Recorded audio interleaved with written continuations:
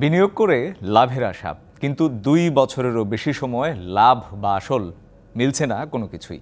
বাধ্য হয়ে অফিস ঘেরাও করলেন কয়েকশো অর্থলগ্নিকারক সোমবার রাত থেকে শুরু করে মঙ্গলবার সারাদিন অফিস ঘেরাও করে চলে গ্রাহকদের বিক্ষোভ।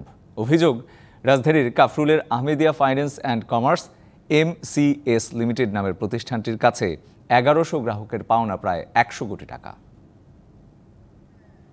আমার মেয়ের বয়স এখন বত্রিশ বছর আজকে পাঁচ বছর আমার মেয়ের টাকাগুলা বিয়ে দিতে পারিনি ঘুরাইতেছে সে আবার দারোয়ানরা আমার কুত্তার মতন নিয়ে খেদাইছে। ওই মেনাজারে আমার দূর দূর করে খেদাইছে বাবা। আমার চেকটা ছিঁড়ছে আমার মারছো আমার পরিবারও মারছে। নাই সম্পদ নাই হুত নাই স্বামী নেই আমি অট্রাই আমার এই টাকাটা আপনারা কীভাবে উঠে দিবে? বিনিয়োগকারীদের বেশিরভাগই নিম্ন আয়ের মানুষ। দুই হাজার পাঁচ সাল থেকে প্রতিষ্ঠানটি ব্যবসা শুরু করে। নির্ধারিত সময়ের মধ্যে টাকা না পেয়ে অফিসে গেলেও হুমকি দেয়া হতো তাদের। আমরা নিরহ মানুষ যদি টাকার জন্য আসি তাইলে ওরা ওদের দিয়ে হুমকি দুমকি দেয়। আমরা থানায় গেলে পুলিশ আমাদের কোনো কাজ করে না। এনাদেরকে বিশ্বাস করে এখানে টাকা পয়সা রাখছে। এখন এই টাকা পয়সা ওনারা আমাদের আত্মসাৎ করে নিয়ে যাচ্ছে। চেকগুলো আমাকে মাঝে মাঝে দেয় আবার ফিরিয়ে দিয়ে দেই। এগুলি ব্যাংকে টাকা থাকে না। এমন হয় না যেন যেন ডেস্টিনির মতো টাকা নিয়ে তারা চলে যায়।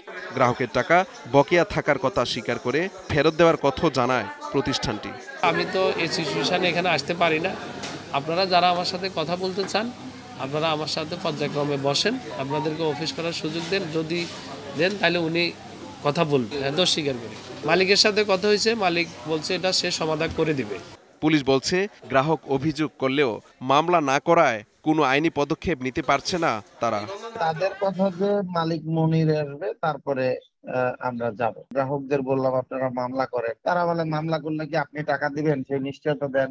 আমি বললাম, টাকার নিশ্চয়তা তো আমি দিতে পারব না শাস্তির নিশ্চয়তা আমি দিতে পারব।